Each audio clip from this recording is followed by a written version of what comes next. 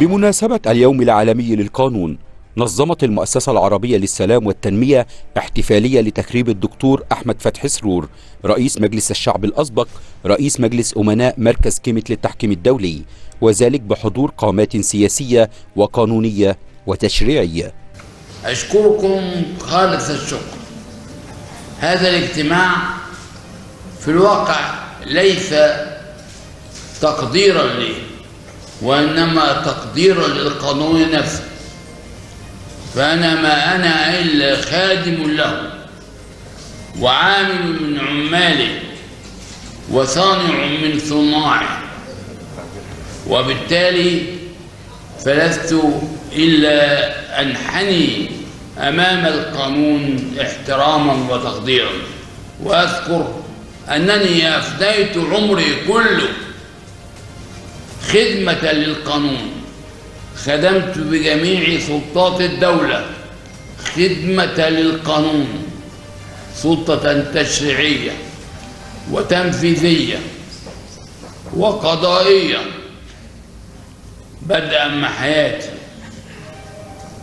وإذا كانت لي نصيحة للأجيال القادمة فهي أن يتصفوا بالقانون وبصفات القضاء. فيما سمنا السيد محمد أبو العنين وكيل مجلس النواب المسيرة الحياتية للدكتور فتحي سرور والتي تعد مسيرته القانونية والسياسية والتشريعية والإنسانية مثالا يحتذى به. دكتور فتحي سرور هذا القائد هذا المعلم هذا الرجل الذي رأيناه تلميذا بارعا رأيناه مدرسا فائقا رأيناه قاضيا ورأيناه مشرعا ورأيناه رئيسا للبرلمان المصري عبر عشرين عاما من الزمن.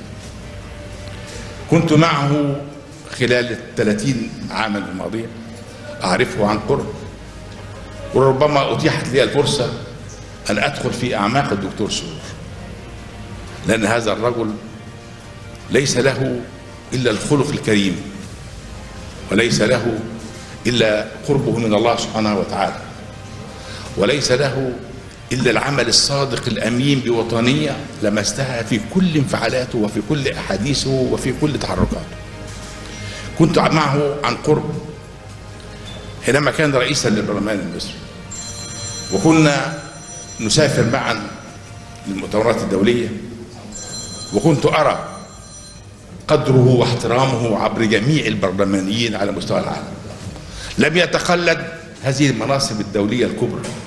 إلا لأنه الدكتور فتحي سرور مرشح مصر الذي كان الجميع يجله ويحترمه. وحينما ترشح لرئاسة البرلمان الدولي كانت الاعتذارات أمامه احتراما له ولمصر. دكتور سرور تحية من الأعماق ليك وباسم كل زملائي إحنا مقدرينك وبنحبك وبنحترمك وستبقى إلى الأبد الآبدين إن شاء الله في قلوبنا جميعا والسلام عليكم.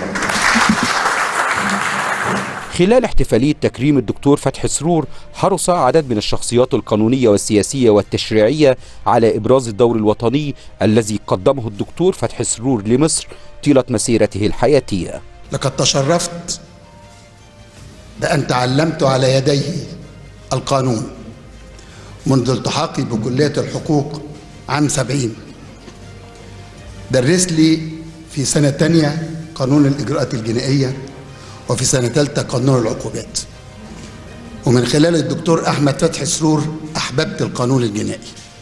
الدكتور فتحي سرور أنا كنت دايما باخد رأيه في أمور قانونية كثيرة وبعدين بعد أن أصدرت حكم في أحد القضايا الهامة الدكتور سرور طلب قال لي ابعت لي صورة من الحكم. فبعت لسيادته صورة. بعديها بمدة قال لي أنت كاتب الحكم 2000 صفحة أنا عيني وجعتني. وراح أطلق علي لقب القاضي العالم. هذا اللقب أنا أعتز به لأنه جه من معالي الدكتور أحمد فتحي سرور أستاذي القيمة والقامة أستاذ الأجيال. أنا بكن له كل حب وكل تقدير وكل احترام. يكفيه أن التاريخ سوف يذكره بفخار أنه قدم للبشرية وقدم لمصر ما لم يسبقه به أحد. فيما قدم من علم وتشريع وتراث لقد شرف به التدريس وشرف به القضاء وشرف به التشريع وشرفت به المحاماة بعد الدكتور عبد الرحيم شحاتة في مكتبه أنا حضرت هذا اللقاء وقال له إن في أرض بتاعت السلكانه القديمة عايزين نخصصها لبناء مستشفى للأطفال. الدكتور عبد الرحيم راح قايل له حاضر يا فندم هنشوف وهنعرضها على المجلس المحلي ونشوف كيفية التخصيص. فوجئت إن الدكتور فتحي سرور راح خابط على إيده بايده على المكتب وقال له يا دكتور عبد الرحيم أنا بقول لك وجودي في المكان ده كله وتخصيصك دلوقتي حالا وبدون لجان لمستشفى 57 كوم تاني.